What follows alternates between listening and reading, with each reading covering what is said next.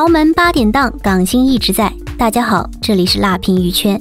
实在是想不到大 S 最终会迎来这样的结局：自己从前夫买的豪宅里搬出来，然后自己在隔壁不远处又买了一个新家。关键是新欢具俊晔又重新回到了韩国，而大 S 自己却出现了精神方面的问题。关于汪小菲和大 S 这次离婚闹剧。网红律师张景曾站在法律的角度分析过，从法律的角度来看，他是支持大 S 的。他认为大 S 正在经受全民讨伐，作为有影响力的女明星，她离婚后还是要被前夫一家蹭流量、损坏口碑来营销赚钱。的确，汪小菲作为一个成年人，身边还有律师为自己参谋，但当时仍旧在清醒的情况下。自愿和前妻大 S 签下那份离婚协议，虽说那份离婚协议有些不合理，不管当时是出于什么考虑签下的，有网友说是汪小菲和张莹莹有疑似出轨的公关危机，让汪小菲处于舆论的不利地位。但是既然自己白纸黑字签下的东西，当然是具有法律效应，也应该认真履行。然而，离婚后，汪小菲却在互联网上不停爆料前妻的丑事，张兰也仿佛开启了流量密码，通过儿子和前儿媳那一档子一地鸡毛的事直播带货。显然，这也是支持大 S 的那一部分人找到了一点关于汪小菲和张兰的黑点。可是，为什么观众还是不喜欢大 S，将炮火都纷纷对准他呢？换一个角度来说，就是张兰的直播间为什么还能爆火？更有消息称，张兰每天卖酸辣粉的销量就能达到五六千万。只能说，大 S 虽然占据了法理，但在很多行为上却遭到了网友的诟病。如今她的口碑已经崩成这样，曾经大 S 好妈妈、体面的独立女神的形象，在观众心中已经荡然无存。甚至连带着和他奔赴二十年之约的韩国欧巴具俊晔，也有弃他而去的可能。现在大 S 就算后悔也来不及了。既然大 S 在法理上占据优势，为啥在人设上还会崩塌呢？理由是什么呢？第一个理由，大 S 这次做的是尺度太过了，吃相太难看了。短短一个月的时间里。大 S 就彻底陷入了舆论漩涡。回看这次纠纷，并不是汪小菲挑起的，而是因为大 S 一个多月没有收到生活费，就将汪小菲告上法庭，查封他的财产。一开始舆论就偏向大 S 的，谁知道汪小菲的疯狂爆料，让大 S 的体面荡然无存。即使在这场闹剧中间。大 S 还曾晒出购房信息、汪小菲的欠条，企图再挽回一波口碑，但谁知他的风评被汪小菲锤得更死了。如今，大 S 刷前夫卡不仅成为台湾省内的笑柄，还让他苦心经营的体面人设一夜崩塌。只能说早知如此，何必当初呢？第二个理由，苦命打工人汪小菲和张兰更容易得到同情。大 S 对待前后两段感情太为双标，她长期和汪小菲分隔两地，汪小菲去台湾省的机票都用了五百多万。根据张兰的直播间爆料，大 S 和汪小菲结婚十年，只去过北京三次，每次都不超过五天。而且张兰春节去台湾省看孙子孙女，甚至被安排住酒店。可大 S 在和具俊晔闪婚后，马上就偷偷去韩国看望了具俊晔的妈妈，还在韩国首尔那里待了五天。这普通人一听，很难不为张兰感到心酸，也很难不替汪小菲感到不值。再加上大 S 再婚后还疯狂刷前夫卡，一个劲儿吸前夫血。而张兰都快七十岁了，就算确诊了新冠，还在直播带货，很多观众都觉得心疼，容易有代入感。第三个理由，汪小菲的账单让大 S 的人设彻底崩了。其实，在这次舆论风波之前，大 S 一直都是体面的前妻，也维持着她的贤妻良母的形象。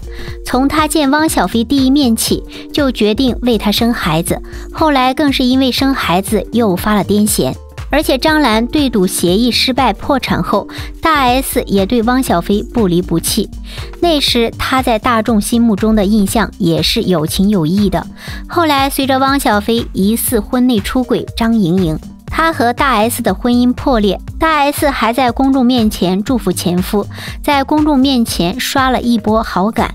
可没想到，因为汪小菲一系列账单，就将大 S 锤到地缝里去了。现在他的体面人设也维持不住。第四，台湾省明星由来已久，文化输出的优越感被大 S 的过度伸手彻底击碎。过去，台湾省内向内地一直莫名其妙输出一种文化的优越感、体面感。在曾经的年代，互联网没有那么发达，明星们录制综艺时吐槽内地的条件，网友不能第一时间知道。随着时代的进步，大众已经越来越反感台湾省内部分明星身上的这种莫名其妙的优越感。大 S 这次将汪小菲按到地上摩擦，那种不和你多说，只一味冷血的用法律维护自己利益的劲儿，正是大家反感的。其实大众愿意维护汪小菲，也是有种见不惯的感觉。谁叫大 S 撞到了大众舆论的刀口上呢？而现在因为具俊晔有前科，拿不出无犯罪证明，只有被迫赶回韩国。这不是来了几个月就走了？近日，小 S 也开始复工，可以说非常高调，一身中国红，扎着麻利干练的马尾。不得不说，小 S 这精气神特别好。她爆料，鞠婧祎走后，姐姐大 S 的精神一直不太好。出了问题，时好时坏，有时候还在家里胡言乱语。小 S 呼吁网友，呼吁社会给姐姐更多的关爱。小 S 表示，具俊晔走后，姐姐的精气神儿都被抽走了，整个人在家无所事事，不是太正常，还胡言乱语，状态不是很好。不仅如此，大 S 已经从汪小菲买的豪宅里面搬出来。汪小菲买的台北信义豪宅价值四个亿，离婚之后，大 S 一直住在里面。最新消息，大 S 已经搬离信义豪宅，而是在隔壁花了一点八个亿买了个国家艺术馆豪宅。夜景图来看着，这两个豪宅没差多远，在一条街上。只是大 S 后来买的冠德在台北信义过去两栋，虽然在一个街上，但是明显看得出来还是有很大差距的。从灯光奢华就看得出来。而王薇薇评价大 S 有自恋型人格障碍心理疾病，具有很强的表演型人格，一直在塑造一个完美的人物外壳。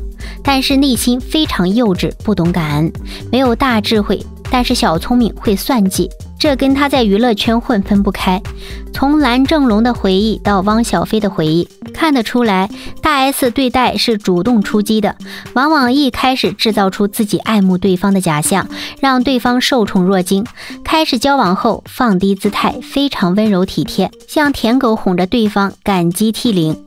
但是真正抓牢这个男人的时候，就开始释放真实的自我，以不确定的情绪操控和训练对方，力图把对方 PUA 成舔狗。看王薇薇这么一说，好像还真就是那么回事儿。如今随着具俊晔的离开，大 S 的精神状态开始变差，整个人就像丢了魂。用小 S 的话说，姐姐的精气神都被抽走了，希望外界给予更多的关爱。而橘子倒是觉得，这才是大 S 最好的归宿，买房搬家，活得有底气了，把汪小菲的还给了汪小菲，不再依靠前夫来养。再说，新欢去了韩国，说不定什么时候回来，他精神出问题，应该能获得一点点同情吧，或者必说咎由自取是报应。你们会同情他吗？换个角度来说。汪小菲和大 S 的葫芦瓜会就此沉下去吗？很难，不是不能沉，而是不让沉。即便汪小菲、大 S 都决定偃旗息鼓了，但还是会被张兰理其鼓槌。这不，远处又传来鼓声了。这次的主题是两个话题：其一，汪小菲要花五千万止战和大 S 和解，并获得孩子的抚养权。其二，汪小菲把张兰拉黑，两个人失去了联系。这两件事情的真实性有多大呢？对于第一点，说汪小菲支付五千万的爆料人叫虞美人，自言是张兰的朋友，他们真的是朋友吗？在虞美人的自媒体账号里，曾经这样说张兰：大 S 是流量明星，流量是需要变现的。张兰是做企业的，她需要流量，他撕了才会赚流量和名气，这就是流量密码。说实话，这道理大家都懂。他这样去映射张兰，也算是中肯。他说这话时，汪小菲和大 S 的对弈事件还只是刚刚开始。虞美人的确说中了张兰。作为企业家，张兰不仅嗅觉敏锐，也懂得取舍与搏击。其实，在口罩下的餐饮业步履艰难，大 S 和汪小菲关于抚养费的纠缠，无疑是个契机。这根稻草，张兰绝对不会放过，于是不断的放大事件。因此，具有极强表演欲的张兰，把自己的才华发挥到了极致。所以，只要张兰的鼓槌不停，这瓜就有的吃。在经过几个月接二连三狂躁之后，越来越多的人逐渐丧失了兴趣，变得有些麻木和厌倦的状态下，张兰的话语威力可能不及以往的效果，所以虞美人就成为他的又一把长矛。当汪小菲和大 S 在各自暴躁了一番后，变得冷静了些时，汪小菲要花五千万与大 S 和解的话题就被炮制了出来，并且虞美人说已经被证实了。这事到底可不可信呢？其实，如果你还存在一点逻辑思维力，并愿意仔细想想的话，就不难判断出这基本就是个谎言。首先，孩子跟了汪小菲后，由谁来照顾？是张兰吗？她现在的心思其实根本不在孩子身上，否则也不会撕到现在。所以别指望她因此放下并转身在家里做孩子的保姆。那指望汪小菲吗？这更不可能。他其实也是有心无力。那么他们只有一条路可走，就是雇保姆。保姆的确需要雇。但是基本上是在家里的大人都忙于事业的情况下，他们真的会放心年幼的孩子在保姆的陪伴下长大吗？这会对孩子的成长产生多大的影响呢？你会这么做吗？所以，除非汪小菲立刻结婚，给两个孩子找一个后妈，然后能够二十四小时以后妈的名义陪伴他们。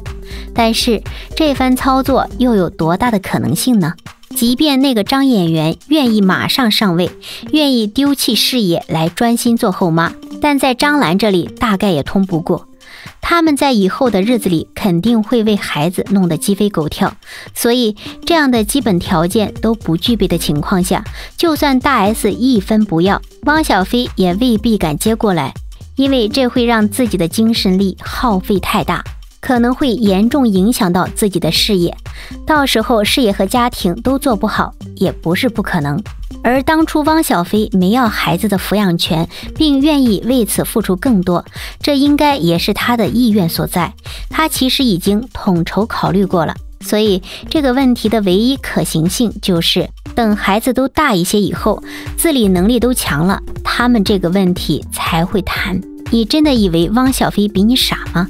所以，若论付出，拿着平常心去看的话，也未必能评断出谁的多，谁的少。所以在张兰的直播中自曝自己与汪小菲已经失去联系，他们之间没有其他的沟通渠道这件事上，他应该是说对了一半。他失去了联系，只是因为汪小菲不再想搭理他，防止他无度消耗下去。害怕最后弄到得不偿失，甚至会被反噬。但是他们之间不可能没有沟通，尤其在企业经营上，不可能不沟通。这事严格来说是张兰说一半藏一半，她仍然跟以往一样，在博同情的同时立人设，然后继续让话题热下去。所以，汪小菲要出五千万和解，并要回抚养权的事儿，由一个与他们毫不相干的人爆出来，这消息来源渠道会在哪里呢？其实你愿意想就能猜得到。当然，如果这事儿是虞美人自己杜撰的话，其实对他们的伤害性还是挺大的，尤其是对孩子而言，不知道他们以后是否会有人追究下去。总的来看，二零二二年，汪小菲和大 S 给全球华人一个大瓜，张兰让这个瓜无限放大了，也因此会成为年度最强大瓜。这不知道是好事还是坏事。当然，目前看来张兰是稳赚了，但还是担心他的野心控制不住，就如他当初的对赌协议一样，想着让这个瓜无限期的滚下去，那会带来什么样的后果呢？是好是坏，目前看来谁也不知道。但是或许到了那时，他的企业会趁着这波流量赚大了，也或许在他来说，这其实已经值了。欢迎在评论区留言评论。好了，今天的视频就到这里，请多多订阅和关注，我会持续为您带来更多精彩内容。